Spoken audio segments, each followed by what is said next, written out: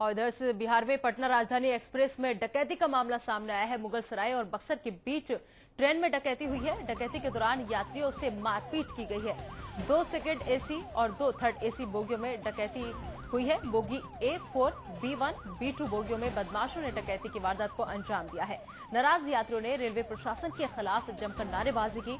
लापरवाही के मामले में दो आरपीएफ जवानों को निलंबित कर दिया गया है।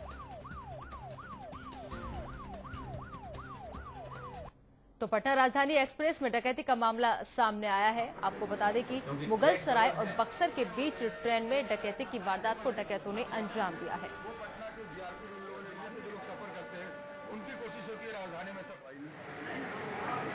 और कुछ डॉक्यूमेंट्स गए हैं। अटेंडेंट की संलिप्तता बताई जा रही है कि अटेंडेंट ने गेट खोला हुआ था। गेट जब वो वो- वो जब निकल गया अटेंडेंट तो अटेंडेंट ने गेट बंद करके वो पिल्लो और जो होते हैं, चादर का जो मुठरी होती है, वो बाँध के गेट के पास रख दिया उसने। यह आपका तेईस दस राजधानी एक्सप्रेस जो दिल्ली से राजधानी नगर आ रही थी। मुगलसराय से ट्रेन खुली थी और गौहमर स्टेशन है। उसका पश्चिम आउटर सिग्नल पर सिग्नल लेट होने के कारण गाड़ी रुक गई थी।